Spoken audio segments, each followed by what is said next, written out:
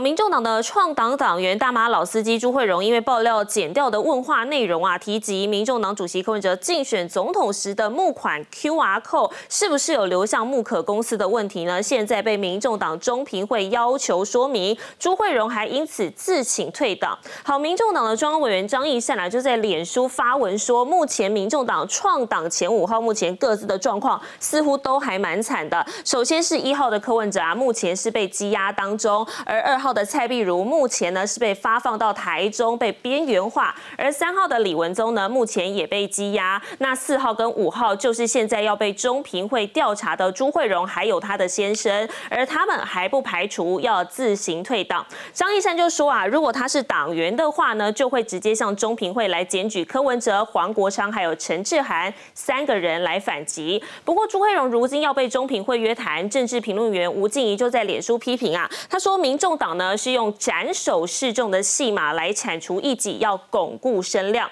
不过，如果朱慧荣说的柯文哲的政治现金有部分是流向木可公司，这个属实的话，律师黄定颖就说啊，恐怕犯下了三大罪了。首先是刑法的加重诈欺罪，可以处一年以上七年以下的有期徒刑；还有刑法的公益侵占罪，也可以处一年以上七年以下的有期徒刑。最后呢，可能是违反了政治现金法，可以处三年以下的图形。而最近啊，美丽岛电子报的最新民调也显示，民众党的支持度只剩下百分之五。好，资深媒体人陈东豪就分析了，他说，如果民众党的支持度继续下探的话，下一次选举搞不好连政党的门槛都没有了，因为至少啊要得到百分之三的这个选票，你才有政党补助款，然后得到百分之五，你才有机会分到不分区还有总统的门票。而现在民众党已经在边缘了。